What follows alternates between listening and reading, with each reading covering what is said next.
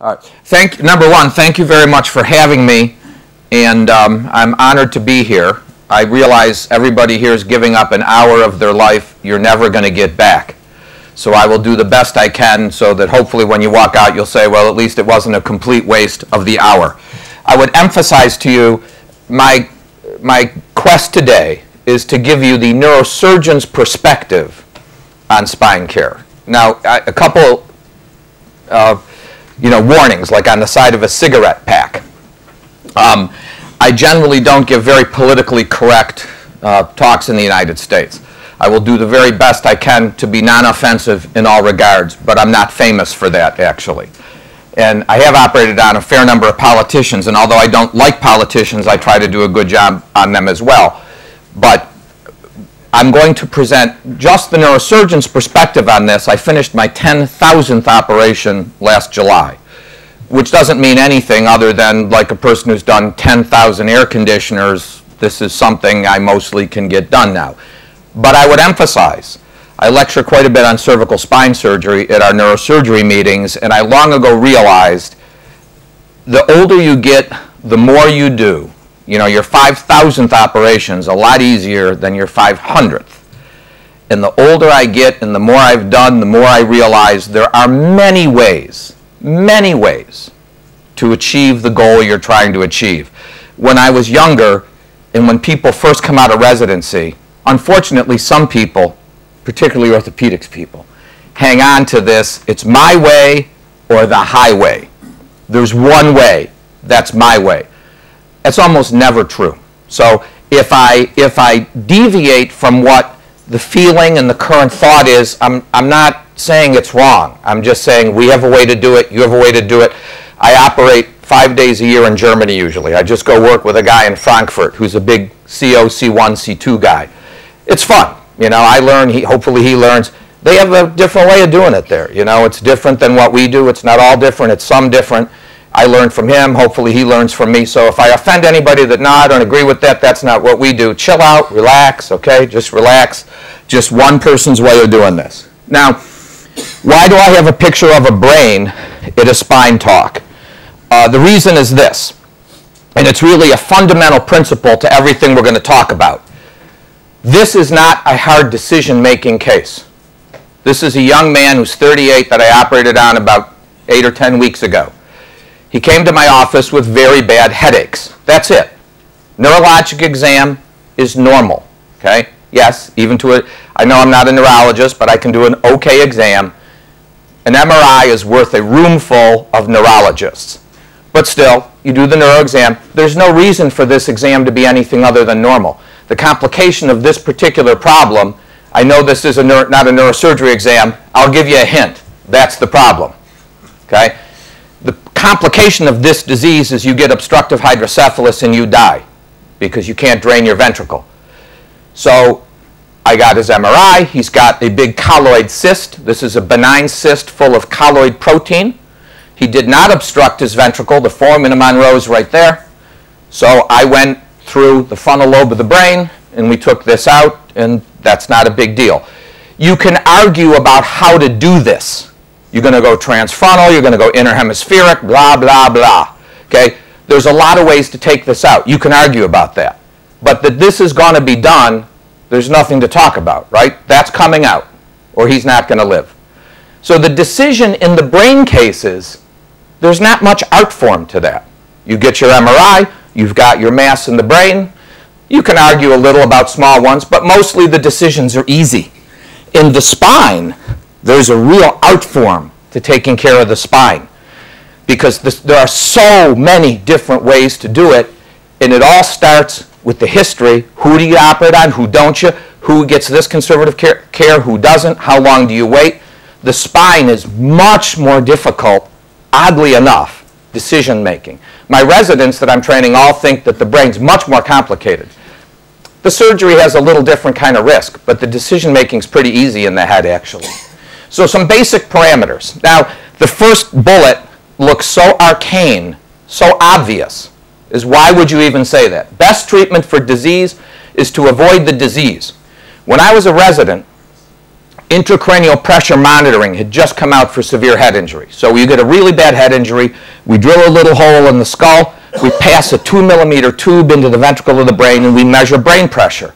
I was very excited about this when I first started. And my, attend, my chairman came up and I said, gee, Dr. McDonald, I really would like to put a monitor in this kid's brain. It was a young person who'd been in a bad car accident. And he looked at me and he said, Paul, the best treatment for a head injury, don't get one. And I thought, what a foolish thing to say. But of course, that was exactly the right thing to say. Head injury in the United States last year from car accidents was the lowest since 1968. And it's not because of neurosurgeons, right? Airbags, seat belts, crushed fronts of the car. So he was exactly right. You know, we don't spend much money on polio because you don't, for the most part, get it anymore. So you, uh, every disease you're going to treat, the best thing to do, don't get the disease to begin with. And some of the conservative care is directed towards that aspect. Preventative care, it's cheaper, it's more effective. This is particularly directed towards the younger population, which I understand, but of course, I would suspect, I don't know this scientifically, but I would suspect athletes probably play longer than they used to play, and we all live longer. So even those of us that aren't athletes, eh, which you can tell by looking at me, I am not, but we're all aging, and so as the spine ages, just like every other joint, it, su it suffers more of the vagaries of life. If you can't eliminate the disease, and this is mostly a mechanical structure, so at least, at least at this point in, in nature and medicine, we don't have a way to totally prevent things, you have to decide what's going to be best to treat this. And that I will submit to you. If anybody thinks they have the absolute answer to that, they should tell us. Because certainly in the United States, you could go to 100 different good centers and you're going to get 100 different answers because, as we're going to see, the science of this is challenging. 30% of the population in the United States at some point seeks care from a physician or a provider for spine pain. So it's one of the most ubiquitous things that exists in medicine. And in the United States, it's over $30 billion a year is a very, very conservative estimate, just taking care of spine care. A couple more parameters before we march on. The patient just wants to get better. Again, I know that seems blatantly obvious, particularly to non-surgeons. But for those of you who are surgeons here, when you go to a neurosurgery conference, surgeons get so into the surgery, the first thing is frequently forgotten. I just want, if I have strep throat, I just want the easiest way in and out the door. If I have appendicitis, I don't want anybody making it complicated. I just want my appendectomy and be gone. So the, uh, whatever you can do with the least amount of friction possible. Friction was actually a term coined by Karl von Clausewitz in 1859. He was a Prussian general in old Germany. And he said friction in war is what separates war on paper from real war. War on paper is very simple. But he said the minute the first contact happens, it rained hard, it was colder than we ever thought it would be, it was hotter, there was a sandstorm. All the friction in surgery is the same way. It all sounds good in conference till the first cut's made, and that's where the friction starts. So it is with all of the care in spine. The friction starts right away. In my opinion, having done, like I said, over 10,000 of these cases surgically, the history is everything. For me, I see every new patient myself. My PA and my NPs and my residents do not see any new patient in my office first. I do. Is it inefficient? Yeah, it's inefficient. I'm the busiest neurosurgeon for almost 2 million people, so that's my, my answer. Somehow I manage to do it. It takes a lot of time. But in the brain cases, my residents can see a brain case and give me the history, and that's all I need, and we go by the study. In the spine, if you skip the history, you skipped the most important part. Because 95, more than 95% of spine patients don't have a finding no matter how good you are at looking, most of them don't have a finding. It's all listening to the story, which takes time to evolve and time to get good at eliciting the story. But if the first, if the history's not done properly in spine, the case is doomed before it started. Guidelines are good. Now this is the kind of stuff that's going to be offensive to some people. Guidelines are good. We have all kinds of guidelines.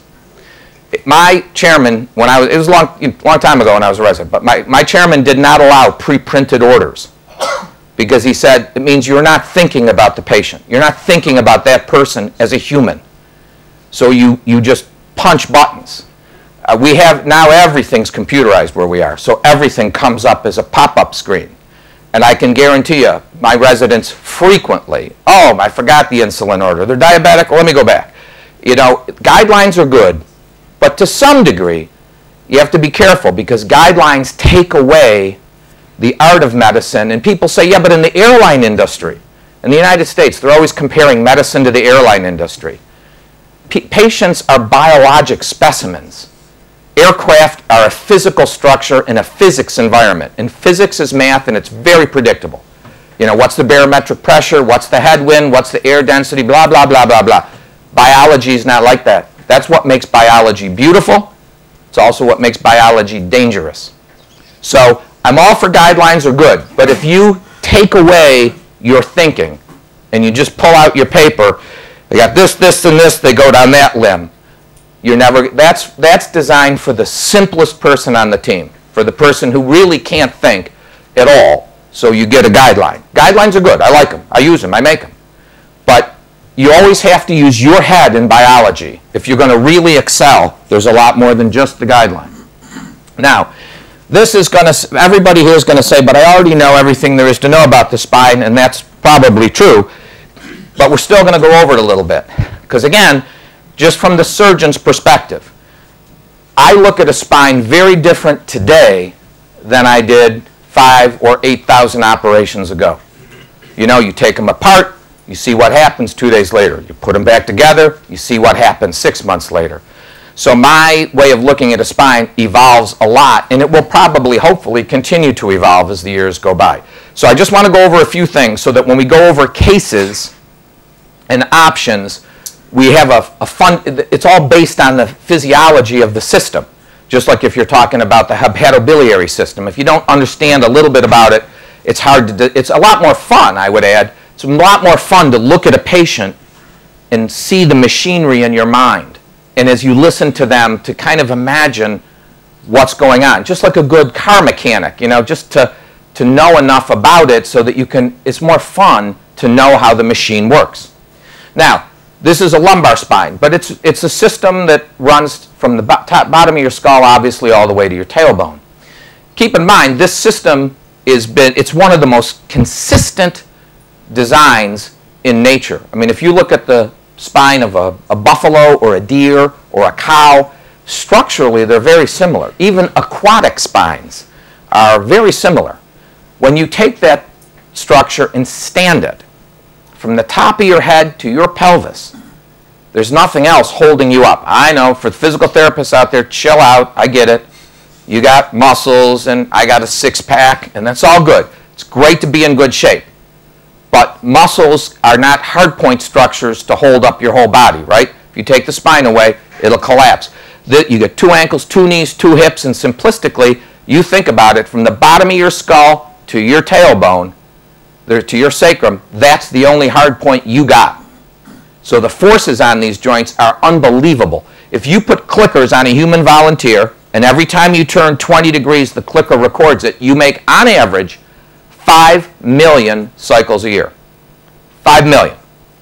Most of the people that come to my office say, Doc, I don't understand why this happened. 5 million turns a year, right? If you drive your car, every time you turn it on, the water pump's doing something. But people don't, because you can't see the spine, when people blow out a knee, I think they kind of look at their leg and think, well, you know, no surprise that happened. But people don't think of the spine as a set of joints, and it is a set of joints. Vertebrae, disc, vertebrae. Everybody's disc focused.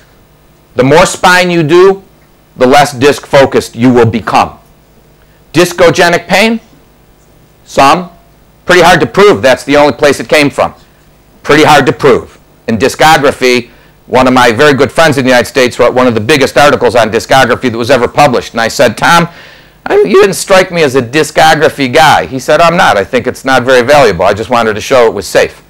There's a lot of art form in this stuff. So if you're a discogram person, I'm not picking on it. I'm just saying that's another one of the many things that have been around for 40 years that we really don't know all the validity or lack thereof. The disc allows you to articulate. It's what allow it's what changes this from a solid structure to an articulated structure. Transverse process, so there's the vertebrae, the disc. Transverse process, the pedicle connects the vertebrae onto the posterior elements, but it's the posterior elements that actually provide the support.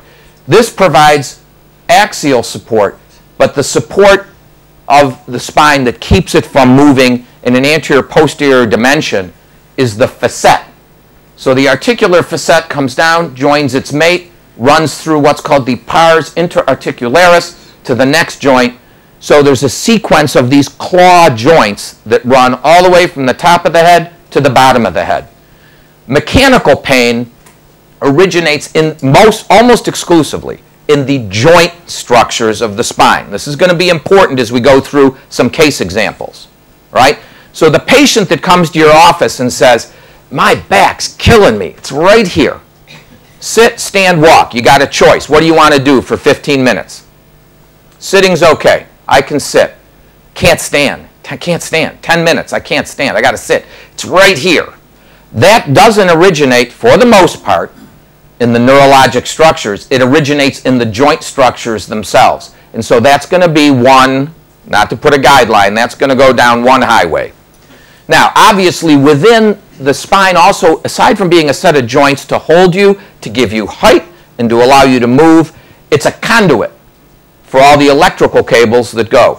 Obviously, remember, there's no spinal cord in the lumbar spine. Spinal cord starts at the craniovertebral junction, terminates about L1 in an adult. In infants, of course, it's lower. It, it ascends as you grow. So by about L1, L2, there's a little variability. You have the cauda. So you have nerve root, but not spinal cord. Huge difference because the cauda is much more tolerant than the cord, obviously. Now, midline pain without any neurologic symptoms. Symptoms, not signs. 90% of people with a huge disc don't have a lot of neurologic findings. Oh, they might have a foot drop. 4% of total. 4%. Okay? In the cervical spine, my, trice, my biceps is killing me, goes into my forearm. My fingers are numb, and you do the exam and you don't find, their fingers are numb, you don't find anything. That doesn't mean they're a liar. It means that sensation is a very difficult thing to map out. Best done by the patient's history, I might add. But most patients, even patients that have neurologic involvement historically, from what they tell you, don't have a finding. But the patient who has pure pure low back pain, it's all right here in my back. And sometimes that'll, of course, go in the top of the buttock, but they really don't have anything distal to the inguinal crease. It's pretty much all rotator muscle of the spine in midline. By definition, that almost always arises in the joint surface of the spine. Now, one thing, what to watch out for, when to worry, and this is the first hit. The first person that sees the patient is usually the person who either makes it good for them or dooms them, okay? So when I'm teaching the residents, some of the way the residents are taught, you know, the attendings give them a list of 40 things that can give you low back pain. No one's going to remember that, right? No one's going to remember 40 things that give you low. You don't need to remember anything. Make it simple. Called an arrow test. Just every time I see a patient with low back, the person who comes in, 25 year old, says, Boy, for three weeks, it's right. It's right there. Into the top of my butt. Is it going to your legs? No. No, nothing in my legs. Any numbness? No numbness. You don't find any weakness. You don't find anything on the exam. It's back pain. Probably mechanical joint pain. 98% likelihood it will be. But if you skip this, that's where it won't, you'll get away with that for 10 years. But if you see a large volume of back patients, those are, right? Everything in medicine that you remember best are the times you really got nailed and missed it. And you find out two weeks later, hey, did you hear about that guy? I'll give you an example. We had a, a 26 or 27 year old athlete, actually, who developed very acute back pain playing softball for the university. He came in, he had terrible back pain, started between his scapula. By the time he got to the non-acute trauma center, you know, so the, our trauma center is divided into acute trauma where you're sick, and then we have it called, it's called the no hope ER, where you're just seen by whoever, you know, whatever, third year medical student. They were seen, diagnosed with musculoskeletal low back pain, went home, and died because they had Marfan syndrome. Undiagnosed Marfan's. And what with Marfan syndrome can give you back pain? A dissection, an aortic dissection. So he, dis he dissected his aorta and died. So those are the, I'm sure the person who saw, you know, it can happen. You know, they did, they were very tall, and in retrospect, they said, yeah, sure, looks pretty Marfanoid, but the patient didn't know they had Marfan's. Nobody else did, and the person that saw him didn't know Marfan's was associated with that, which is maybe understandable. But all you need, you don't need to remember aortic dissection, which can cause back pain. When I was a resident, we had a young woman who came in. She got triaged as mechanical low back sprain. She got her CAT scan and her CAT scan diagnosed her pregnancy, which was causing her back pain. Right kidney, blah, blah, blah. There's Hodgkin's disease, leukemia, invasive colon carcinoma, prostatic carcinoma. There's a million things that cause back pain. Are they going to get you often? No, but if it catches you once, the patient will never forgive you. So all you need to do is an arrow. You start going through the skin. Is there anything on the skin that can cause back pain? Melanoma. I look around. I look for things on the skin. You don't need to remember anything other than if it's not normal, it'll slap you in the face. Oh, they've got a big port wine stain on the back of their skin. Maybe they've got more embryologic stuff deeper down. You don't need to remember it. It'll slap you in the face. Can muscle cause back pain? Sure, muscle could. Skeleton, yeah, skeleton could. Colon, colon can cause back pain. You just walk through. Can pancreatitis give you back pain? Sure it can. So all you need to do is start one side of the skin, go right through, and come out the other side. You don't need to remember any diagnosis. It'll walk you. All you need to do is think what's there. It'll come to mind. Now, that'll help you decide what studies you're going to get, if any. Now, lower extremity symptoms, once that patient says, so you want to sit, stand, or walk? I, would rather sit. Standing's not too good goes right in my butt, right in my hamstring, and then down my leg. Well, that's nerve, obviously. That's neurologic involvement, whether you find anything on the exam or not. Sometimes they will give you a gift, and they'll have a weak anterior tibial. Okay, it's L4 or L5. Oh, do I need to worry? Everybody get my dermatome chart out. Why would you do that? I mean, all you want to do is get to the right testing program. You don't don't waste a lot of time, you know, with your dermatome thing. That's S1. I mean, it's nice to know that, but it actually isn't essential. So don't, I wouldn't overdo that. You know, you'll spend a lot of time doing stuff you could use your brain for other things. If you get in the target, you'll be close. But hamstring, quad, okay, those are two different nerve patterns, but you're still getting to the right study. And that's what you want to get to the study so the study gives you the rest. If it's in the leg, well, then that's nerve involvement. And a lot of people actually have both of these, obviously. Let's just, for example, you get up, you walk out of here today, you turn to pick up a cup of coffee, and it just, your back blows up. Because the minute the disc disrupts, it's holding half your body. So you're pivoting on a broken disc, which hurts. Then, as the fragment migrates out under the nerve, then two days later, that's a very common story. My back was killing me for five days. Now it's my leg that's killing me. That implies disrupted joint with neurologic involvement. And if you find something on exam, it's good. But don't skip the history. Sit on the table. You got back pain. Let me take a look. I don't find anything. That doesn't mean anything. Most of them don't have anything. And the ones that do are the most obvious cases and the easiest ones. No clear trauma on the exam. When do you do the workup? This is very controversial, and this is why this is probably more than any other part of the problem with guidelines. This is there's no right answer to this. Use your head. Use your brain. The person who comes off the soccer field and says, "I felt great till that guy kneed me in the back." All right, well you don't, you know, you don't have to go crazy with the arrow test. Obviously, it just started it's probably not something you're going to get hurt, burned on because you missed something. The answer is obvious. He got kneed in the back, and probably that's where it all began. We'll go from there. That kind of patient, if there's no neurologic issue, you're best to go with conservative options for probably a couple weeks. 73% of people are better in four to six weeks, no matter what you do. It's been studied over and over and over. Nature is pretty smart. So nature does a lot, conservative care can do a lot, PT, injections, those are all great options for that kind of person. And when's the time you get the study for that person? I'm not worried about missing something, and as long as the patient's okay, I can keep seeing them 10 days, 14 days. A lot of them will be better by that point, and you don't need to do anything much more. The people that are a little more difficult is the person who it isn't brand new, and when it started isn't that obvious. And that's a lot of people. I came to the soccer game today, but I haven't felt good in a couple weeks. When did it start? I don't know. I mean, a couple weeks ago. There's no, he doesn't remember exactly when it started. That person troubles me more because there's more things that come into the diagnostic entity. So you have to use your head. If the person gives you the flavor, I've had some blood in my stool too, or my, I've had blood in my urine. I had a guy who came, you, and you have to really pound the history because people want to come, they want to give you a reason a day. I had a guy who came to the emergency department, and the residents called me and said, This guy digs these big holes that they put pipes in by the highway.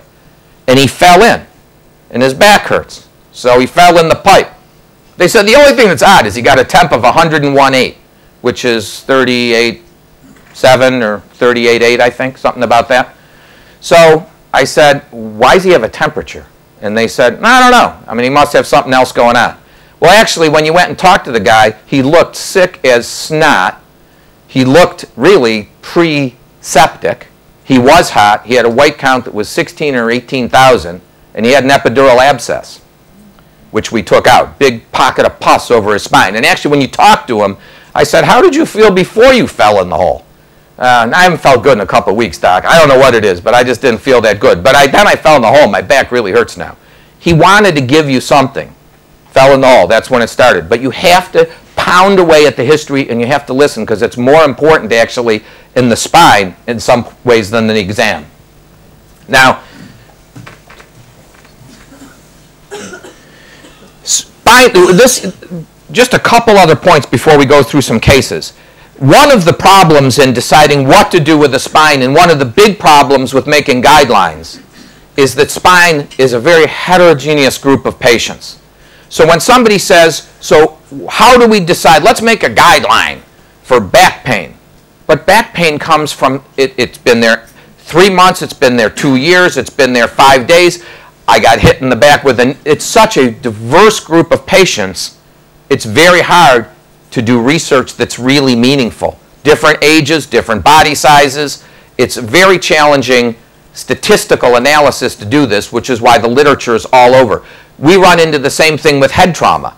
You know, they took 2,000 cases of head trauma at the Medical College of Virginia in Richmond and tried to stratify them. And it, what they found out is you almost can't stratify it. Some of them went through a car window, some of them got hit in the head with a bat, some got hit in the head with a ball. Some fell down. They're different injuries. And so it is with spine. It's a very challenging group. For the surgeon, we have one absolute criteria for the surgeon. For the surgeon. If it's not focal, I can't help.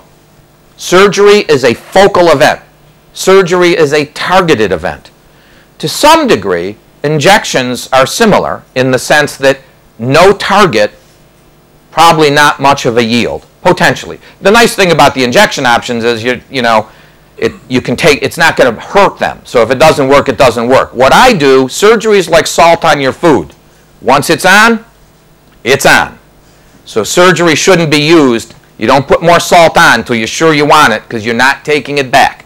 The injections and PT, those are all nice things because there's no irretrievable aspect to them. Everything we look for as a surgeon is focality. If there's no focality, the person who comes off the soccer field says, My back is killing me. I can't stand. I certainly can't play. Five weeks later, you say, All right, I'm done. Let's get an MRI. And you get an MRI, and then that's nothing. I got to get a CAT scan. You get a CAT. if there's nothing focal, I have nothing to offer. Patients, at least in my part of the world, patients think if the pain dial is turned high enough, if I have enough pain, they cut me. N- nothing could be further from the truth. We don't cut you because you hurt a lot. We cut you because you have a focal broken part. No broken part, no surgery. And a lot of the other things don't work as well either. You know how difficult it is to quantify this because at least where I am, our institution used 13 different pain scales at one point. 13. Now, you, whenever there's 13 ways to do something, you know none of them work, or there wouldn't be 13 ways to do it. Furthermore, I don't know how many, you're a pretty young group here. I don't know how many of you have kids. Once you have kids, you know what pain scales mean. Because I have a kid who broke his arm. He was playing football with a policeman. The policeman fell on his arm and he got an open fracture on his arm. He said almost nothing about it. Took it like a champ. I have another kid who I love just as much, and if he hurts his fingernail, it's like he had open heart surgery.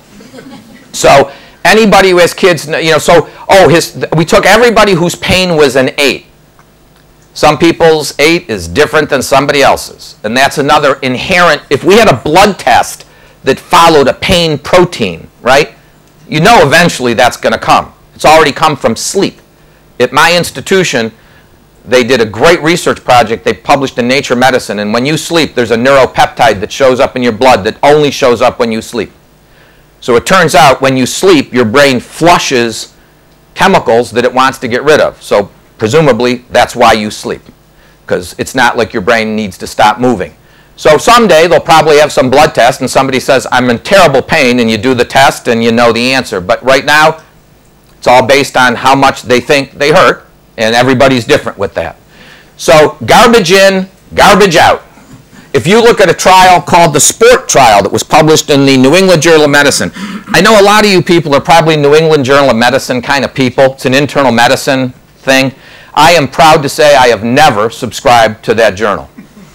But aside from being proud to say that, some of it I'm sure is really good, but some of it's trash. And the sport trial, when you read the sport trial that looked at surgical versus conservative therapy. It's, it's probably the most oft quoted series in the United States on taking care of spine. The first two pages are this rigorous methodology that gives it an aura of science, but it is an aura only. Because when you really look at it, people, 30% of the one group bounced into the other group because they decided they didn't want to be in that group anymore. And the whole thing is based on 13 different pain scales. So the aura of science was really not that scientific. Any data is good, so data is good. I'm not knocking it. In fact, the guy who wrote it I liked very much and I would consider a friend. But even he would be the first to say, almost he said after 10 years of specializing in studying spine and its care, he said, the more I know, the more I realize we don't know.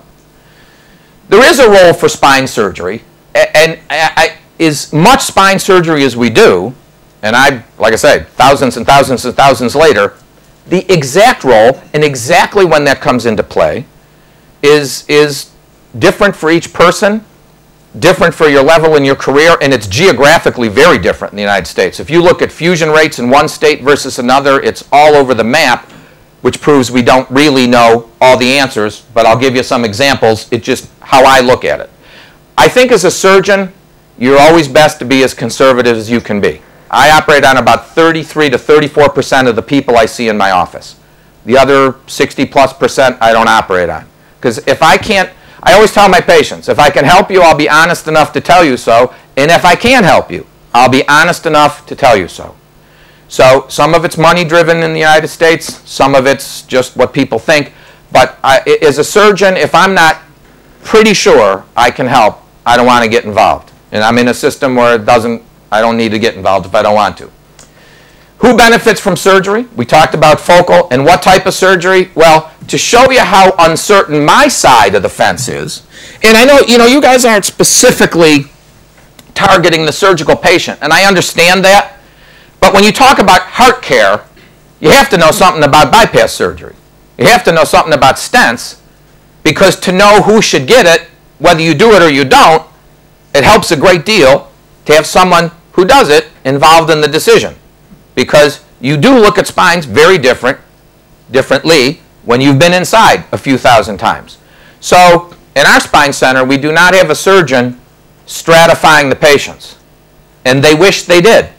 We wish we could find somebody who was right at that point in their career where they've done five or 10,000 cases and they don't want to do that anymore, but they can screen patients. Because you can screen patients pretty well when you've been inside lots and lots and lots of times. The problem is we have not, we can't find anybody that wants to do it.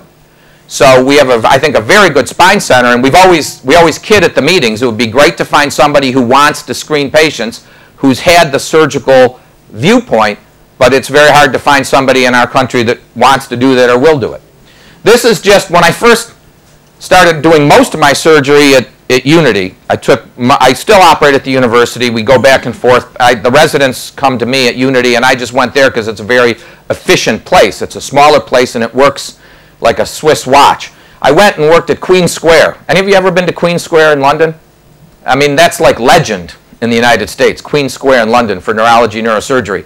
And I went there, and the guy who's one of the most famous neurosurgeons in the world, I met him at Queen Square, and after he did two cases there, he said, let's get out of here. And I said, where are we going? He's operated on Elton John, and, you know, he's operated on everybody in Europe. And I said, where are we going? And he went to this little 200-bed hospital, and he said, I do everything important here because this place works. Queen Square doesn't work. So that's actually where I got the idea of doing this. So I work at a, about a 300 bed hospital, and a lot of it's for us, and it works like a Swiss watch, if you like Swiss watches. So the first year I was there, I just took the five surgeons who did the bulk of the spine surgery. These are the numbers of surgeries they did that year at this institution. And I, the, they're just listed as A, B, C, D, E because I presented this to them at our first meeting that I chaired. And this is me, so I'll tell you that. I did 441 spines there that year, cervical and lumbar, about four, almost 450 cases that year. And the fusion rate is here. I fused about 32.6%, I think. And if you looked at my practice every year, it's about 32, 34%, 33, and that's not a conscious decision.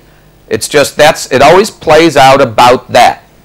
We have one gentleman there who does about 93% of the cases are fused. His answer to this was, well, maybe I see a different group of people. I don't believe that. Patients that roll in the door at our place are not that stratified. The patient doesn't say, gee, I think I'll go see the guy who does this or that. They pick the surgeon by reputation mostly. Uh, this is a very financial, I'm just being honest, a very financially driven decision. 93% of people that hit the operating room table were getting instruments. That's changed. There's a place for instruments. Actually, I did almost as many fusions as this guy did. It's just I did a lot more patients to do that many fusions. So in the United States, this is the kind of variability you see. Everybody except maybe this one here is a very honest you know, well-meaning surgeon, but that's how much difference there is in judgment about who needs to have something put in to fuse the spine. And we'll talk about that with some cases. But even in my own arena in surgery, this is not fully established. Another offshoot of the sport trial was, given the limited evidence regarding most non-operative treatments, creating a specific non-operative paradigm is not clinically feasible. That might be a little strong, but again, just another in the never-ending series of articles to say is pretty tough to decide what's your best option. Atlas et al., there's limited evidence regarding most non-surgical treatments. The Cochrane Review and the European Spine Journal pooled analysis showed no significant difference. But again, if you read the methodology for that, it's, it's really sketchy methodology with an incredibly diverse group of patients that you wouldn't probably expect to find scientific data to kick along. Dan Resnick's a pretty good guy at the University of Wisconsin. I thought this was a pretty honest statement. Outcome assessments are significantly limited in their accuracy and reliability. Now, cabbage, coronary artery bypass graft. The reason I put that up is this. Everybody wants to have a spine data-driven, evidence-based medicine decision. You wait till this day to get the MRI. You wait till that day to do surgery. The problem is, the in the United States, the coronary artery bypass, the heart bypass data is awesome. In the state I'm in, New York State, It's a law. It's been a law since 1989. If you do open heart surgery, you have to submit every case to a state database, and that database is published every year with everybody's name. So if you want to know the death rate that your heart surgeon has, you can look it up every year. At first, everybody said, this is crazy and it's not fair. After two or three years, they said, you know what? It's actually pretty fair. In fact, I'll give the state credit. The government, at least where I am, the government where I am makes a lot of um, not so good decisions. But this is one they did pretty well. When the cardiac surgeons said, this isn't fair, the state said, good, you get 12 cardiac surgeons, you guys make a panel, and you can decide, you can be the authority how you want to do it. So they did. And the data is very good. But the point I'm making is cardiac surgery, the data is pretty easy to stratify. This was your ejection fraction before surgery. This was your percentage LAD occlusion. This is your A. You know, there, it's pretty rigorous number data. And with the complication is you're dead. So that was pretty easy. You're dead, you're not dead. The problem with spine is we don't get all these numbers. You know, you don't have all this quantifiable stuff. The heart's a beautiful machine. Compared to the nervous system, it's fairly simplistic. That's not taking anything away from cardiac surgeons. I'm just saying it lends itself to data-driven research. Spine just doesn't lend itself to data-driven research so nicely, hence the problem. Now, couple cases to walk through, just because I always learned best from cases. I know they're anecdotal, but they're meant to be anecdotal representative. An anecdote doesn't make for science, but it does make for learning. Does make for learning. I, most of the stuff I do differently, I do differently because I hurt somebody or I killed somebody. And you kill a couple people, you change how you do things. Especially, I do a lot of brain aneurysms. You know, you kill a few and you do something different the next time. 36-year-old male. This guy is actually a special forces guy in the United States. He's strapping, totally jacked, you know, unbelievable shape guy. He had three months of mid-thoracic pain into the upper lumbar spine. Young, healthy guy, no other arrow test, okay? Arrow test. No diabetes, no kidney problems, no blood in his stool, no blood in his urine. Walk all the way through, nothing. Got nothing. Healthy guy. Healthy guy. It's right here. It's right in my back. And that went on for three months. Now, what study should he get for he doesn't remember when it started, but it sort of crept up on him. And three months later, he's got a lot of thoracic pain and upper lumbar pain. Neurologic examination was normal when he was first seen. For the first six weeks, the right thing to do probably as long as there's nothing else, not in a guideline, but in your ears and your brain. There's nothing else that sounds fishy, that sounds off probably it's perfectly reasonable to wait four or six weeks. He got some plain films when he was first seen, and they were normal. He got a chest x-ray, which maybe wasn't unreasonable either. And that was okay, and that's fine.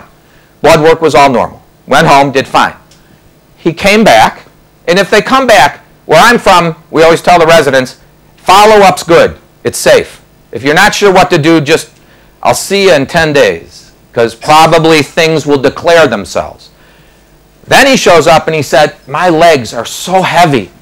They're just so heavy. His exam, the resident said, I didn't find anything. When a patient tells you something's heavy, they mean it's weak.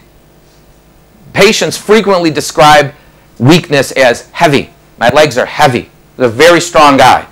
And he said, I, I, when I saw him, I said, So, how are your legs compared to two weeks ago? Wow. He said, I was standing you know, I stand in the shower now, and just standing in the shower is hard. And this guy's this big, strapping guy. So I ordered an MRI, and that's what he had at T9. Big thoracic tumor sitting squat right in front of his, there's his spinal cord, right? Vertebrae disc, vertebrae, this is the low thoracic spine. The conus is right there at the top of the lumbar spine. Here's his chest, spinal cord, spinal fluid, and an extra part that he should not have. This was a benign meningioma. This is a, a very dangerous thing to have. Because once you're paraplegic, you're paraplegic. You might get some back, but in the thoracic spine, the thoracic spine is very dangerous for us because the blood supply to your spinal cord starts at your skull base as a branch to the vertebral artery and it runs down the spinal cord. And there, there's an artery that comes out of the lumbar spine that runs up and they meet in the middle of the thoracic spine. So the blood supply to the thoracic spinal cord is not good. This is much more dangerous for us than a brain or a neck because the blood supply here is so bad that the artery is less than two millimeters wide. If it spasms while you take this out, they're paralyzed. So this is a picture I took through the microscope when I took it out. I did a standard laminectomy, took it over to the facet, so I had a little more wide exposure. This is his thoracic spinal cord right here. Remember, your spinal cord is almost exactly the width of your finger. It's the exact size of an index finger. And there's his tumor right there. So this was a nice benign tumor. It came out very nicely, and that was a little over two and a half years ago, and he's done very well. But the MRI saved his bacon. Now, is that, you know, you could order 100 MRIs and you may not find that but once in a thousand or one, but for him, that was everything. The uh, nice thing about MRIs, it clears all, most of the bad stuff is out the door. Could he have had testicular carcinoma? Yeah. Testicular carcinoma up the retroperitoneum, you can get back pain from that, but the MRI would have caught that too, probably. So, you know, a lot of the stuff, the nice thing about MRI is even if you didn't think of it, it does catch, the reality is it catches a lot of things. 27 year old, daily unrelenting low back pain.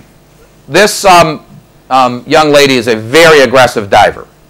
So she was in a high board diving competition she said, I threw myself into position when I left the board, and it felt like my buttock blew up. Then she had back pain down the back of the leg, into the calf. One of the reasons I use this as an example, it's not so much whether four weeks is the time you ordered the study, or eight weeks, or seven weeks, but that clearly is not right. This poor person, young person, spent a year of her life hobbling around with all this leg pain, dense numbness in her foot. So she's got from her back into the butt, into the hamstring, into the calf, and numbness in the foot. She had some findings on her exam. She had a little bit of a gastroc weakness. She had a dense numbness. But the real point is that's clearly not the. She had had like 20 injections and you know she that was exaggeration. She had seven or eight. You know she really got run over the coals a lot which doesn't make the, the, those things wrong to do. It just if they're not working it three or four or five months, probably you've given it a real try. So nothing on the aero test, plain films, that was reasonable to do. They were normal. Now, do you go with a CAT scan or an MRI, and when do you get it? Well, like I say, it's not this day or that day. She failed a couple injections, okay. She failed six or eight weeks of physical therapy, okay, because most people don't. 90% of people don't need anything more than that because they get better with nature and conservative care. They don't need anything else. I'm at the end of the funnel for the person who doesn't get better. But it's 12 weeks or 16 weeks or 18 weeks. If you're not getting better, it's time to move on. That's her MRI. Belly, buttock, sacrum, disc, vertebrae, disc, vertebrae. L5 vertebrae, that's a disc fragment the size of my shoe. This is not subtle. Just for the record, that operation took 26 minutes because I looked it up before I put the case in. It was 26 minutes to take care of that after 12 months. And she did fine. She kept some of her numbness. But, you know, that's people don't numbness, long-term numbness, because we have a lot of patients that have this from one reason or another. Numbness your brain will forget. It will not forget pain pain, the way the brain is set up, pain is like a smoke alarm. It just keeps going on. Numbness, you're, I don't think about wearing glasses. Those of you that wear glasses, you don't get up, you don't spend all day thinking, oh, I have glasses on. Because you when you first get glasses, you do. But your brain finally says, okay, he wears glasses, so give it up. But pain, your brain will not give up. Chronic pain's terrible. This is a big, just an axial view of a big chunk of disc. That stuff, incidentally, for those who don't do surgery, they always say it's gel. It is not gel, okay? It doesn't look anything like gel, many thousands later. I do maybe two or perhaps three teenagers a year for disc herniation, two or three a year out of 500 cases a year. And they're always physiologically big. You know, they're big athletes, they're big kids. So the stress is adult stress. They're never regular sized children. And, the, in the young, in the 15, 16 year old, the disc is fairly jelly like. By the time you're 20, game on. It looks just like lobster meat, crab meat. Looks just like lobster and crab meat. It's exactly like that. When that fragment comes out, when a leaf leaves a tree, okay, are there any trees here? Okay. There's a lot, there's a lot of trees where I am, okay? My whole backyard, at the end of the fall, there's six inches of leaves all over the yard, okay? But when a leaf leaves a tree, what happens to the leaf? It dies, right? Because it's not part of the tree anymore. So no glucose, no photosynthesis, no biosystem. So the leaf dehydrates and shrinks. When that disk fragment blows out of the disk space, it's not part of the biosystem anymore. So it dehydrates and shrinks. So we have to be fair. Surgeons that operate on people in two weeks and say almost all of them get better, most of them would have got better without you. So nature is smart enough to dehydrate and shrink that, which helps us all, surgeons and conservative alike. 28-year-old soccer player, acute onset of low back pain, no radicular symptoms, okay? Terrible low back pain, terrible low back pain. Nothing in the legs, nothing. Nothing on exam, but more important, nothing on history. Does it go into your legs? Doesn't go into my, doesn't go into my legs at all, okay? Not at all. Is that more joint or is that more nerve? Joint, exactly, joint. And the purpose of showing this case is this. That's his MRI. Pretty unexciting, actually. Nice spinal fluid column, couple little nothing. You know, those will get read as, you know, degenerative disc or something, and that's fine. But this is basically pretty unexciting. And that's a CAT scan. So vertebrae, pedicle, facet, vertebrae, pedicle, facet, oops, fracture through the pars, spondylolysis. That's a pars fracture that really wasn't well visualized on the MRI. You know, there's MRIs at MRIs, you know. Sometimes the patient's moving around, they can't stand being in there. Sometimes the MRI is one of these, you know, 0.3 Tesla things that they drive around in a van, and sometimes they're great. So, it, you know, the cat, if you don't find it on the MRI, what's done where I'm in the United States, if your first MRI doesn't show it, the next test is usually another MRI, and then another MRI, and then another MRI. If the first test doesn't work, it's like a homicide. If there's no fingerprints, look for hair. If there's no hair, look for blood. Look for something else. So the CAT scan can be helpful. I don't use it as the primary study because it isn't very good inside the spinal canal. So I always get an MRI because that's preferred because it takes care of most stuff. I'm just saying that some patients, CAT scan is still very helpful sometimes in patients with mechanical pain. This is actually a psychiatrist I saw and she was actually pretty normal for a psychiatrist. They're usually not very normal. Neurosurgeons are unbelievably normal, as I prove. So this was her MRI. Again, I'll just spot it to you. Pretty, you know, she had a great story. My back hurts. It goes in my buttocks and in my calves. I walk in the store. I have to bend over the cart. It was a good story. So I was kind of disappointed. So I ordered a CAT scan myelogram. Now, if there's a radiologist out here there's always a radiologist who says, why would you do it? A myelogram CAT scan is still a very good study in the right patient. It's a different study. It's a nothing study now. It's all water-soluble dye. So there's her CAT scan where they're laying on the table, but look at this. Lo and behold, she slides her L4 vertebrae 7 millimeters off the top of L5 on a flex film. And that's her myelogram. Nice column, nice column, boom. Almost a complete block because she's sliding on a flex film. So if you don't nail it on the first study, an MRI is a good place to start, you can move on from there. Orthopedic surgeon's wife, you're thinking, but we deal with athletes. This must be an ancient person. This is not.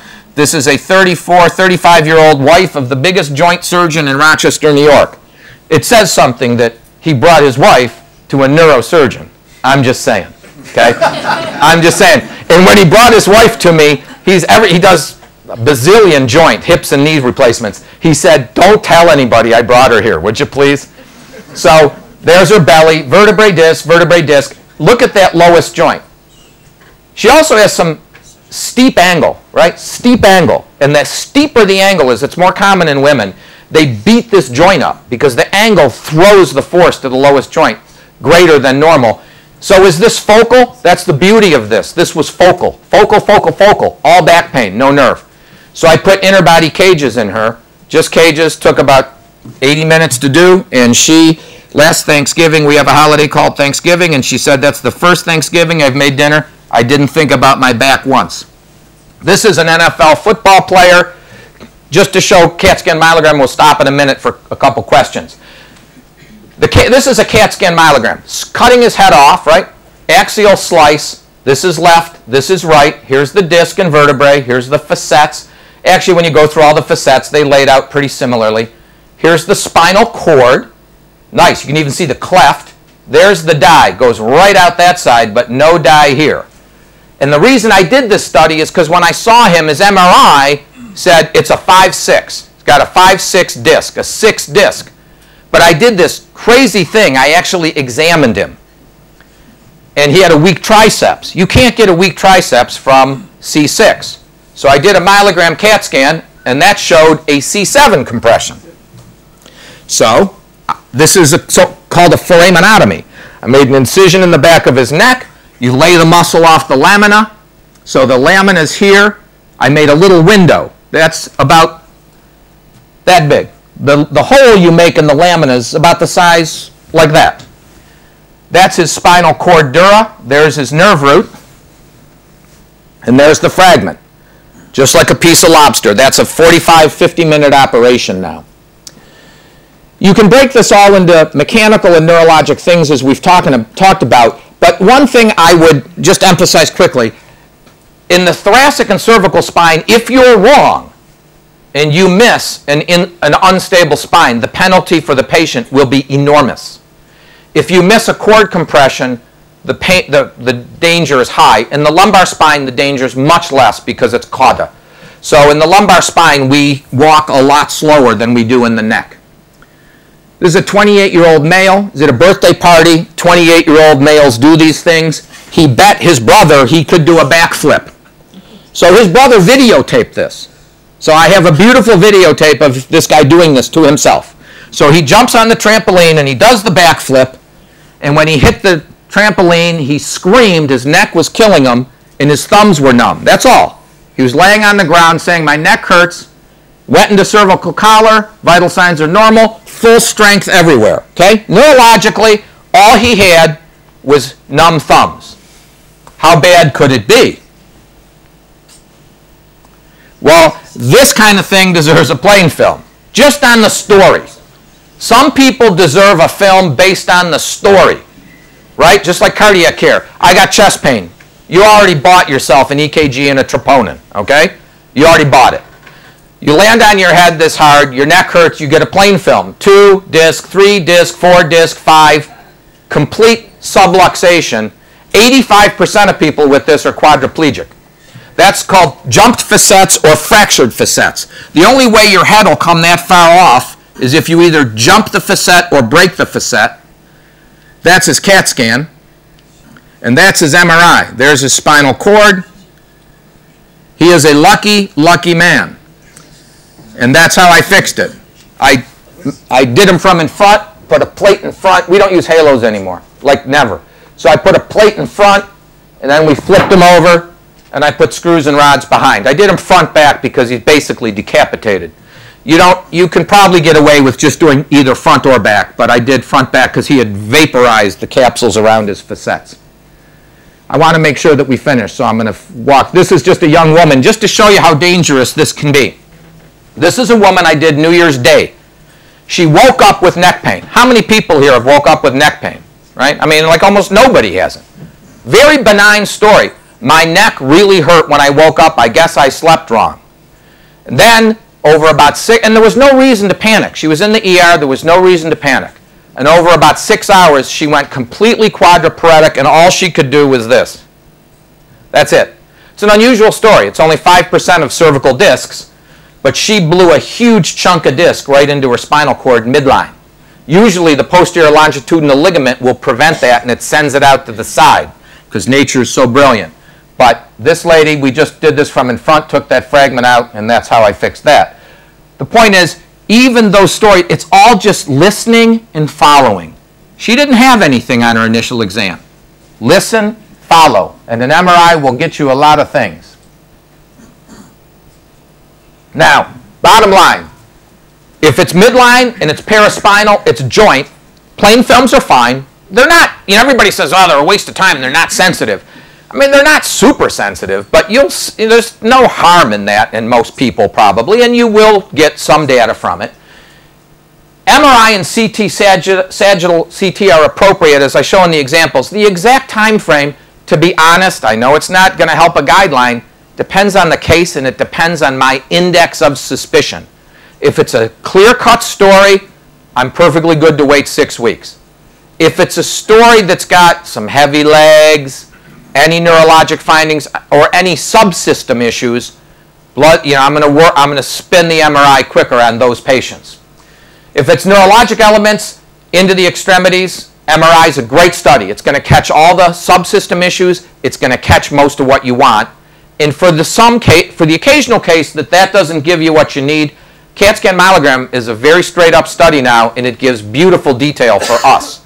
I don't usually get that. That th those people would never even see me for six or eight weeks because they go through the conservative arm first, which is very appropriate.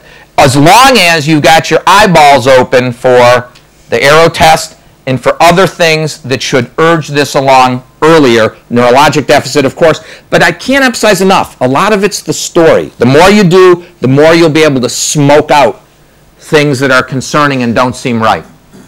And then which, whether you go down the conservative route or the surgical route obviously depends a lot on wh what the study shows and how the patient's doing. Interest of time, I'll stop. Any questions? Thanks very much.